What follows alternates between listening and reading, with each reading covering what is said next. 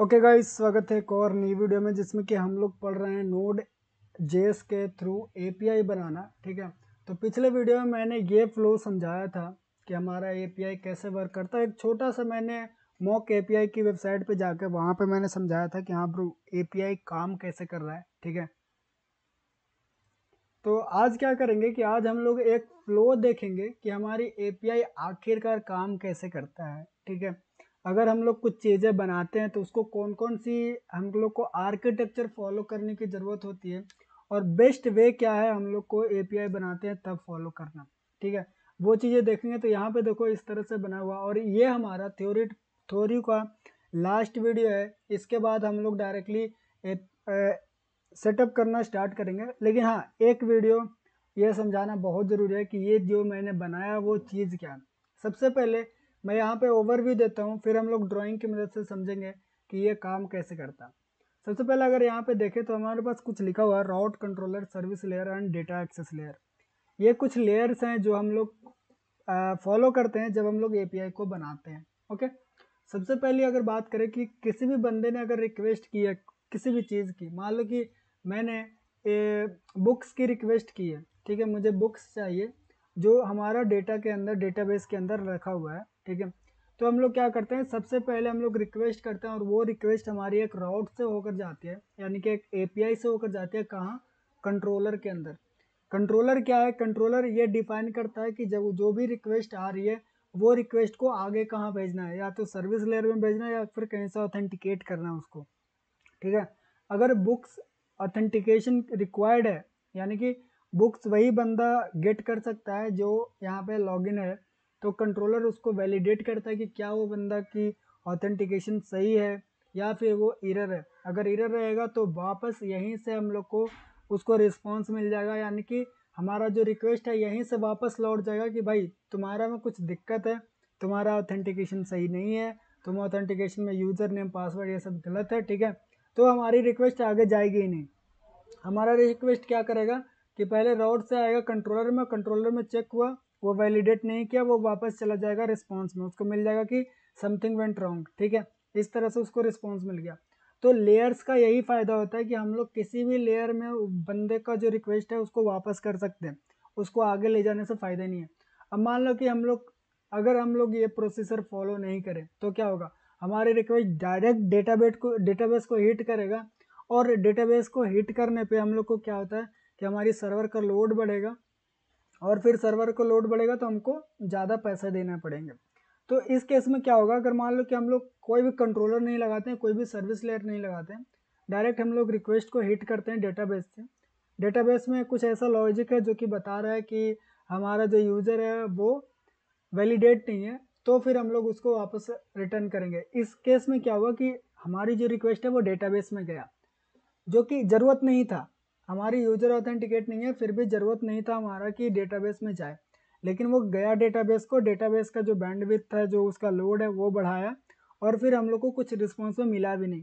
तो ये चीज़ को हम लोग सॉल्व करने के लिए हम लोग ये लेयर्स को फॉलो करते हैं कि अगर मान लो कि कोई रिक्वेस्ट आया तो सबसे पहले हमारा कंट्रोलर के अंदर जाएगा ही जाएगा और वहाँ पे वैलिडेट करेगा। उसके बाद होती है हमारी सर्विस लेयर सर्विस लेयर के अंदर हम लोग सारी वैलिडेशन लिखते हैं। फिर आती है हमारी डेटा एक्सेस लेयर जहाँ से हम लोग फाइनली डेटाबेस को एक्सेस करते हैं। अब थोड़ा सा मैं इसको समझाऊँगा, ठीक है? एक सेकंड रुक जाओ, मैं समझाता हूँ इसको अच्छे से। ओके तो अभी हमारे पास ये स्ट्रक्चर है। अभी मैंने क्या बोला था कि हम लोग कोई भी रिक्वेस्ट यहाँ पे कर सकते हैं। जो भी रिक्वेस्ट करेंगे, वो हमारी राउट में जाएगी। राउट क्या होता है कि मान लो कि अब जब हम जब हम लोग लोकली चला रहे हैं तो यहाँ पे लोकल होस्ट ठीक है? स्लैश मान लो हमारे पास बुक है। तो बुक इस टाइप के हमारे पास एक यूआरएल होता है, जिसको हम लोग एपीआई बोलते हैं, उसी के अंदर, उसी को हम लोग रोट भी बोलते हैं। यहाँ पे हम लोग रोट उसी को बोलेंगे, ठीक है? वैसे तो रोट अलग अलग होती है, लेकिन फाइनल हमारा जो रोट होता है, वो यही है कि हमारी जो, अगर बुक की रिक्वेस्ट करनी तो हम लोग ये वाली रोट को हिट करेंगे। जब वो हिट होता है तो हम लोग कहाँ जाते हैं? कंट्रोलर के अंदर। कंट्रोलर के अंदर कुछ चीज़ें ही डिफाइंड रहती है, जैसे कि ऑथेंटिकेशन मान लो, ठीक है? ऑथेंटिकेशन हो गया फिर अगर फेल हुआ, तब क्या मिलेगा? पास हुआ, तब क्या रिटर्न करेगा? इस, ये सारी चीज़ें हम लोग कंट्रोलर के अंदर डिफाइन करते हैं। और ये सारी चीज़ें हम लोग सीखेंगे भी टेंशन लेने की बात नहीं है। और आगे बढ़ते हैं थोड़ा सा। तो हम लोग को जब कंट्रोलर ऑथेंटिकेट कर देता है, देख लेता है कि हाँ भाई, सारी चीज़ें सही है, तब हम लोग को पास किया जाता है सर्विस लेयर में। अब देखो सर्विस लेयर क्या होती है? यहाँ पे और भी चीज़ें हैं, लेकिन हम लोग अभी बात करते हैं सर्विस लेयर होती क्या? तो सर्विस लेयर के अंदर हम लोग वैलिडेशन लगाते हैं। वैलिडेशन इन द सेंस क्या? अगर मान लो कि आप एक बुक को, ठीक है बुक को पब्लिश करना चाहते हो, यानी कि बुक को यहाँ पे ऐड करवाना चाहते हो डेटाबेस में तो हम लोग चेक तो करेंगे कि आपने जो बुक डाला है, क्या उसकी जो टाइटल है, वो क्या खाली है? क्या वो आपने वो जो टाइटल डाला है, वो कहीं आपने खाली तो नहीं छोड़ दिया, या फिर उसका इमेज जो है, वो आपने कहीं डालना भूल गया? तो वो सारी जो वैलिडेशन है, वो हम लोग यहाँ पे लगाते हैं। इसको मॉडल वैलिडेशन भी बोलते हैं। आप इसको मॉडल के अंदर भी कर सकते हो, नहीं तो आप सर्विस लेयर के अंदर भी कर सकते हो। जितना भी वैलिडेशन का काम होगा, किसी भी चीज़ को देखना चेक करना, सही आ रहा है कि नहीं आ रहा, सही जा रहा है कि नहीं जा रहा, वो सारी चीज़ें हम लोग सर्विस लेयर के अंदर करते हैं।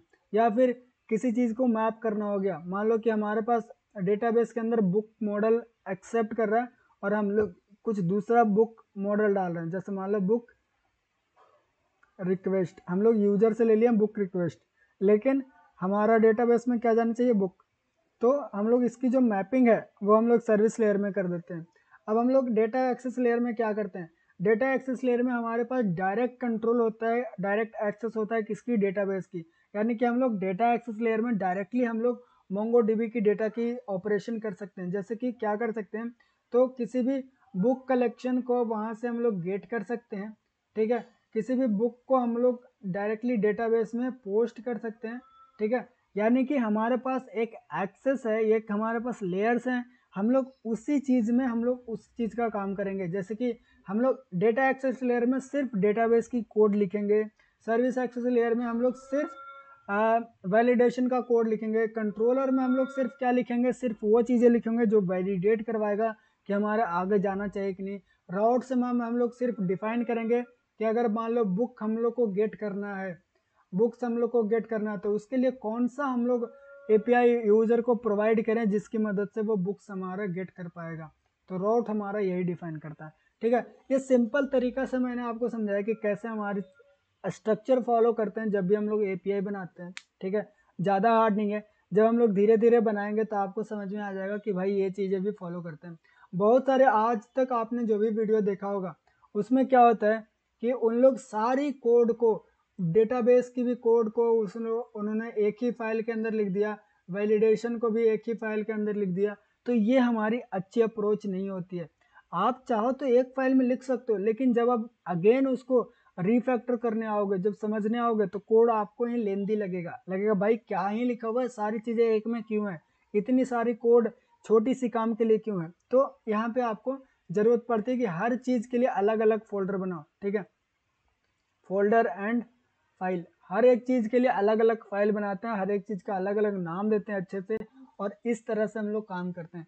अब भाई, आपको इसमें क्या होगा कि इतनी सारी स्ट्रक्चर फॉलो करने में आपको थोड़ा सा कॉम्प्लिकेटेड लगेगा, लेकिन एक बार जब हमारी जो प्लेलिस्ट है, वो पूरा ख़त्म हो जाएगा, फिर आप ये स्ट्रक्चर को फॉलो ज़रूर करोगे, क्योंकि अभी आप खुद का प्रोजेक्ट बना रहे हो, चलो ठीक है। लेकिन जब कंपनी में जाओगे तो आपको ये स्ट्रक्चर फॉलो करना ही पड़ेगा। मैंने बहुत सारे ऐसे बंदों को देखा है जो कि अपनी जो प्रोजेक्ट है वो नोट जेस के अंदर बना के आते हैं या फिर मान लो. डॉट नेट के अंदर बना के आते हैं, ठीक है? डॉट नेट से एक एपीआई बना ली और वो फिर बोलते हैं कि भाई मैंने ए बनाया था। अब वो क्या करते हैं कि कंट्रोलर के अंदर ही कंट्रोलर के अंदर ही वो सारी कोड लिख देते हैं। जैसे कि हमारे पास कंट्रोलर के अंदर ही सर्विस लेयर है, उसी के अंदर वैलिडेशन भी कर रहे हैं, उसी के अंदर डेटाबेस से भी एक्सेस कर रहे हैं। तो जब वो कंपनी जाते हैं तो उन लोग को सेपरेट करना पड़ता है। तब उन लोग को उस टाइम दिक्कत आती है कि भाई, ये तो मैंने पहली बार कर रहा हूँ, ये कॉम्प्लिकेटेड लग रहा है। तो इसीलिए हम लोग अभी से फॉलो करेंगे कि बेस्ट अप्रोच क्या है। क्योंकि मैं बैकेंड के ऊपर काम कर रहा हूँ तो इसीलिए भाई मैं आपको बहुत बढ़िया से बता सकता हूँ कि बैकेंड की जो हम लोग कोडिंग करते हैं, वो कौन सी बेस्ट अप्रोच को हम लोग फॉलो करते हैं ताकि हमारी जो कोड लॉन्ग टाइम तक बढ़िया से चल सके, कभी फट ना जा पाए, ठीक है? ओके गाइस तो आज हमारा थोड़ा सा इन्फॉर्मेशन था, ज़्यादा मैंने लेंदी नहीं किया वीडियो को आई होप और छोटा हो सके, रखने की कोशिश किया हूँ।